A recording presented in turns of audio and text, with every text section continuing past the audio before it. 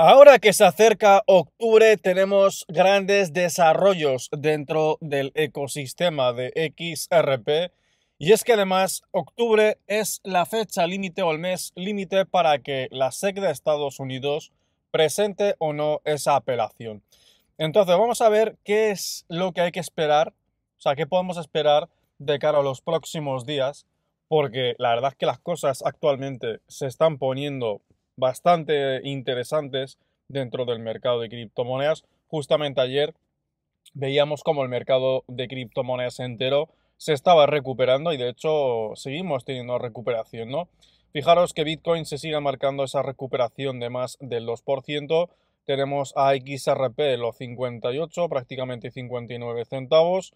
Es verdad que hemos aflojado un poco a partir de ayer, eh, a partir de los datos que hemos tenido durante el día de ayer, que hemos estado por los 59 centavos y medio, bueno, pues hemos aflojado un poco, realmente tampoco es que, tampoco es que estemos cayendo, ¿no? Simplemente pues un pequeño retroceso. Eh, también teníamos las meme coin, que, las, que, eran las que más subían, ¿no? Como el token Shiba Inu y Dogecoin, son las que más se recuperan dentro del mercado de criptomonedas. Quiere decir que ahora mismo la atención se está desviando hacia las meme coin, pero como siempre son para sacar efectivo, para sacar profit y ese dinero volverá a inyectarse dentro de los proyectos de utilidad.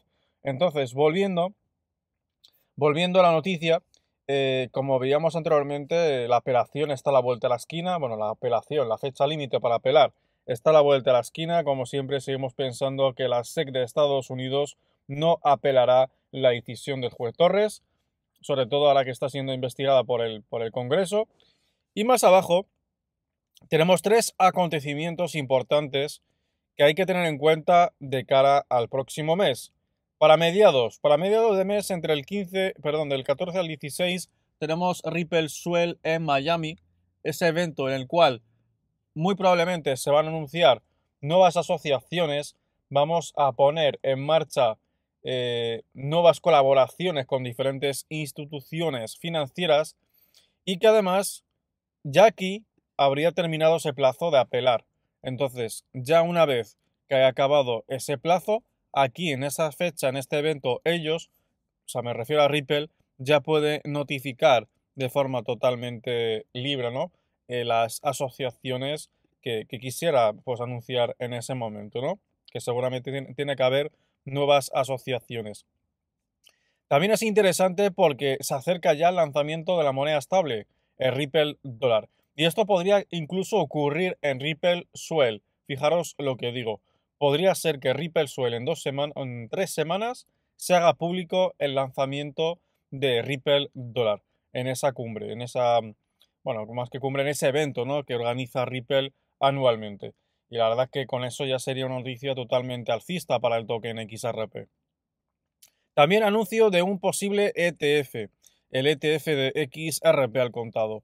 Eh, bueno, pues esto ya sería algo mm, ya de locos, ¿no? De locos porque lo que siempre digo, lo más importante de estos fondos, eh, fondos cotizados en bolsa es la cantidad de capital que se invierte en un activo para posteriormente eh, lanzar su fondo cotizado en bolsa.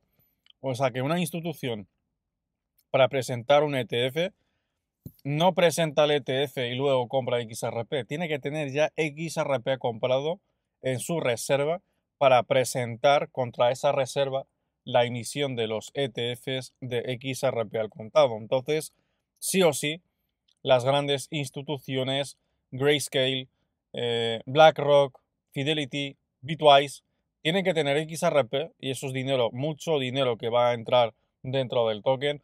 Y también lo más importante es que ese dinero que entra se bloquea. Es como si se retirasen de la circulación, porque los tienen que bloquear. Los tienen que mantener bloqueados en una cuenta de reserva, ¿vale? Eh, y también recordad que por cada ETF más o menos equivaldrían a unos 215 XRP. Ya lo vimos en su momento, ¿vale?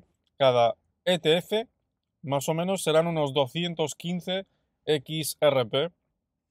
Ese es el cálculo que hemos sacado que tiene que tener una institución para lanzar un ETF de XRP. Una institución no va a aprobar solamente, no va a presentar solamente un ETF, presentará, bueno, pues varios ETFs, quiere decir una gran cantidad de ETFs, lo cual va a bloquear una mayor cantidad de XRP, con lo cual el precio podría volverse parabólico. Luego también asociaciones para la tokenización, que es otro campo muy importante. Os acordaréis de esa asociación con Archax, la cual el propio CEO había predicho que entre 30 y 50 billones de dólares en activos podrían tokenizarse en el libro mayor pronto. Ha dicho pronto, no ha dado ninguna fecha, pero daros cuenta de que son de 30 a 50 billones que podrán fluir en la cadena de bloques XRP Ledger en forma de tokenización. Esto es solamente lo que es la tokenización, luego pagos, luego el mercado de derivados, las CBDCs, monedas estables. O sea, que te quiere decir que hay mucho que hacer, la custodia también, hay mucho que hacer dentro de Ripple.